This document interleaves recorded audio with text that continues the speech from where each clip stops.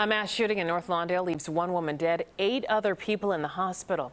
It appears to have happened near a birthday party just before 1 o'clock this morning. CBS 2's Asal Rezaei live right now at Mount Sinai, where multiple victims are recovering this morning. Asal.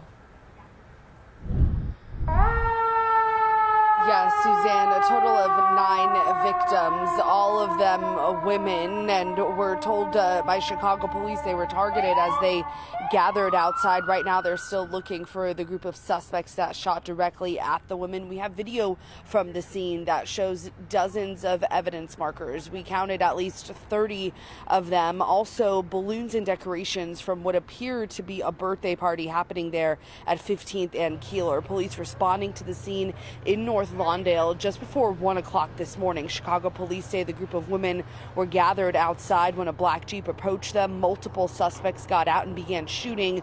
No word on if there was a verbal exchange that happened before the shooting or why the women were targeted.